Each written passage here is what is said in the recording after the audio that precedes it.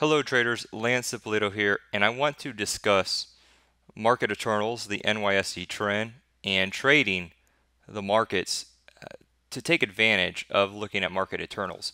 So the NYSE TRIN, dollar sign TRIN, or the Richard Arms Index, is one of my favorite things to look at at an intraday and end of day basis. Now, one for the notepad to write, if the TRIN closes below 0.6, the market has an 80% chance of selling the next day. If the TRIN closes above 2, there's an 80% chance that the market will rally the next day. So normally the TRIN is inverse to the overall S&P 500. So if we have a TRIN going down, we have the US equity market rising on an intraday basis. A couple things that stood out to me over the past couple days.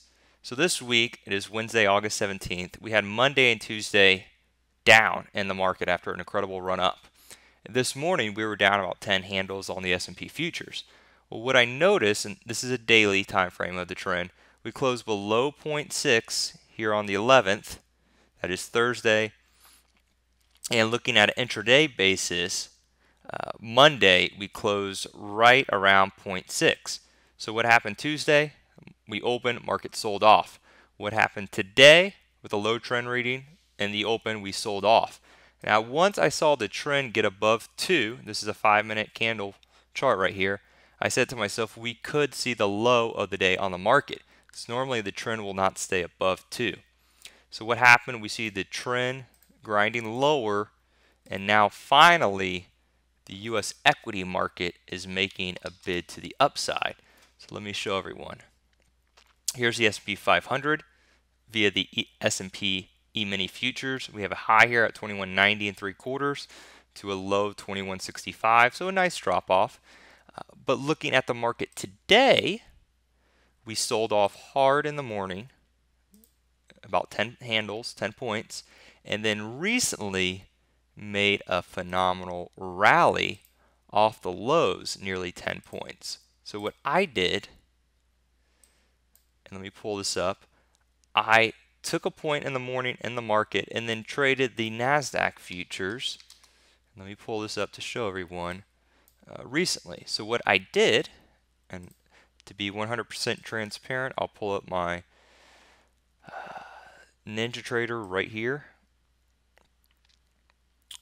Let's pull it up. So what I did when I was looking at the market internals was I bought I tried to buy three. I only got filled on two NASDAQ futures here at 40, at, pardon me, at 47.74 and a quarter. So right down here. Now what I was looking at was the ticks, and I actually have a tick master indicator that I created uh, that one can always get. Uh, feel free to email me if you would like to uh, receive it where I was just following the negative ticks lower in the morning.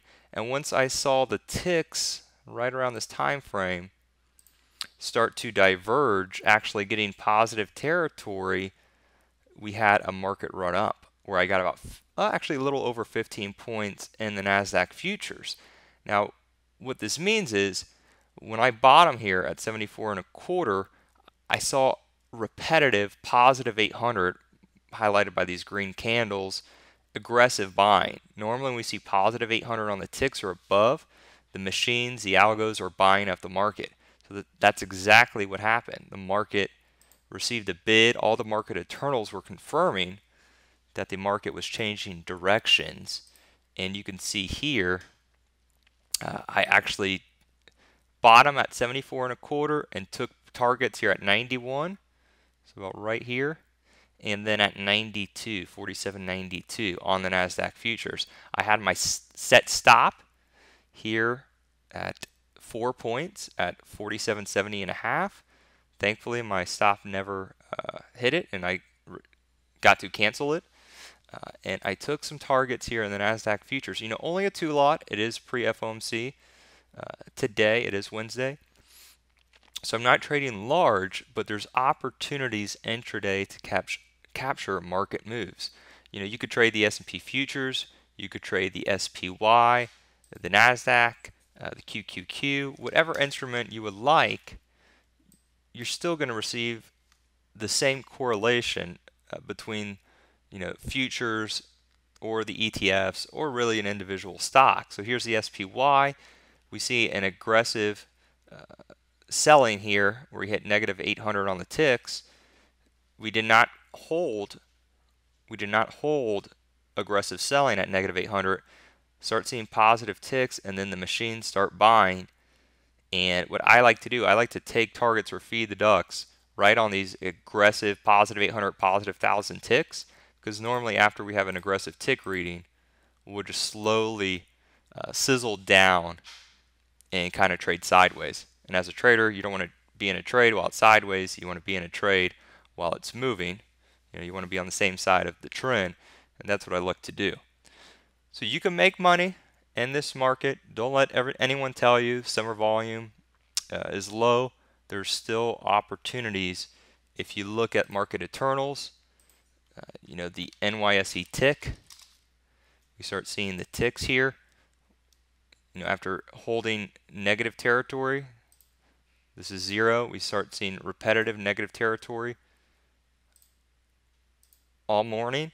And now we're finally starting to see positive ticks, you know, bouncing off zero. And we actually hit a high tick of 1100. So follow the trend index the NYSE tick and the advanced decline line. Look at the advanced decline line. Bounce off negative 1200 and now look at us at negative 500. We see the advanced decline line confirm the trend higher. So the market's signaling an intraday reversal.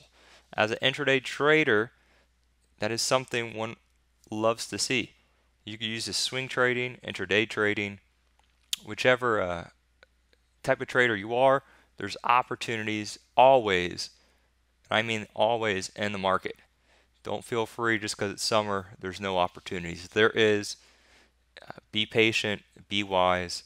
Lance Ippolito here, tradingcoachlance.com, tradingcoachlance.com. Feel free to shoot me an email at lance at tradingcoachlance.com. Uh, and I'd love to have a conversation with you.